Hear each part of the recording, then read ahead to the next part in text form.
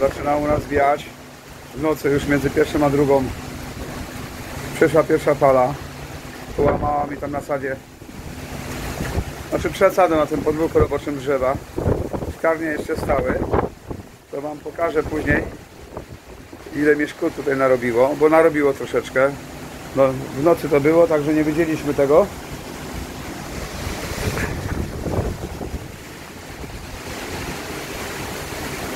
Nie wiedzieliśmy dokładnie co nam tam narozrabiało, ale teraz znowu idzie następna fala.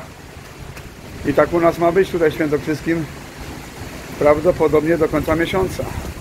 Trochę się obawiam o to wszystko.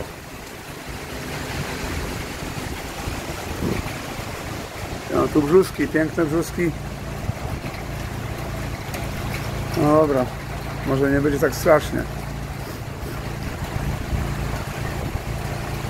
Później pójdziemy oceniać straty, nie Unia?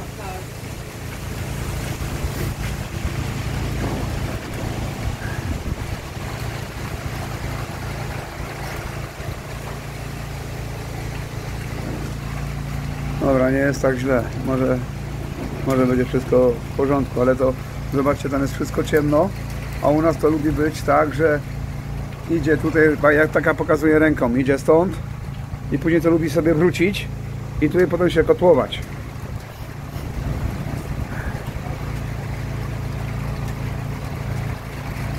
Dobra, na razie.